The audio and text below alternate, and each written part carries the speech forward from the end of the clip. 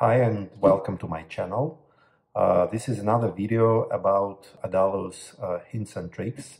Uh, this video was inspired by one question in the forum I've got uh, about whether it's possible to do uh, the pop-up notification window like uh, in Uber when a new order has been received by the driver. For a mobile app, uh, I would use push notifications for that, but um, I wondered how to do that in the web app. So I decided to create a proof of concept. And we have two screens here. We have uh, order screen. We see that there is a user named Victor.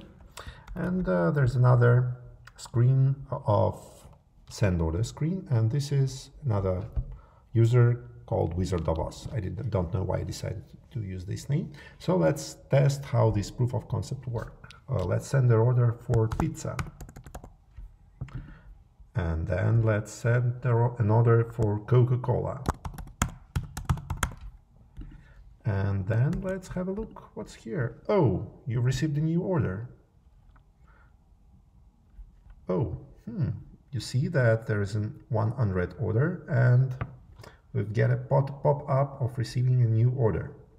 So probably you must have guessed that uh, I've used one of the most interesting uh, additional components. It's a, a timer component, a countdown timer component.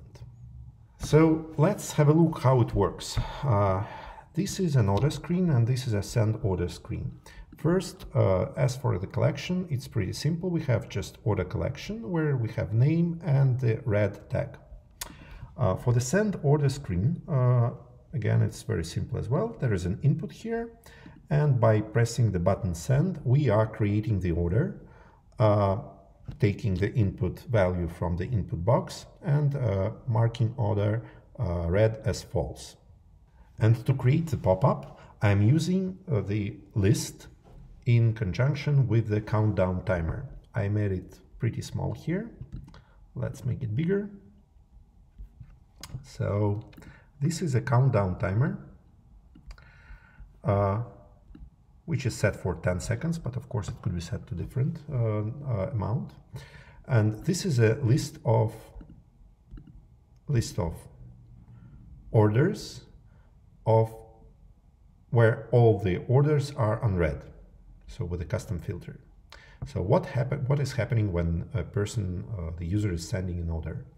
Uh, if there is no unread order, uh, list is empty uh, and uh, we don't see anything.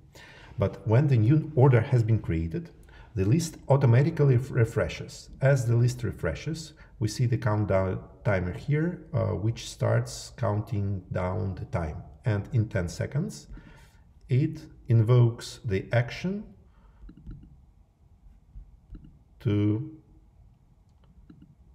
link to the pop-up screen, uh, which informs you about the new order. And by pressing OK button, we are updating the order that read is true.